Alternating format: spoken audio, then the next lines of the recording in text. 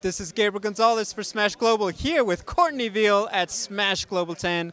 Courtney, what brings you out to Smash Global tonight? Um, I've actually come with my friend Liddy Ward. She brought me as her guest, so yeah, it's my first time here. I'm new to LA, so Oh, where are you coming from? uh, Wales in the UK. Oh my god. Yeah, I'm going out there soon to the UK, first time. Any advice? Okay, what's take Wha- a rain jacket.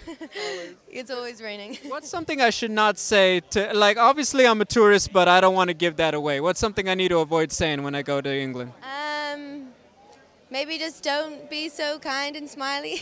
everyone's everyone's pretty straight faced and miserable because it's raining all the time. So That that is very good advice. That's- Have you you'll be good. You'll be ha- have you ever been to an MMA event? Uh, no, I haven't. This is my first time, so What- I'm very excited. Have you been to combat sports before? Uh, no, never. First time ever. You're good with violence? You feel like you're ready? It's like going like into it's like going into the Hunger Games out there, I but feel it like I'm ready. there you go. Hey, my advice: enjoy the show. It could end fast. Okay. Courtney, pleasure speaking to you. Have a great evening.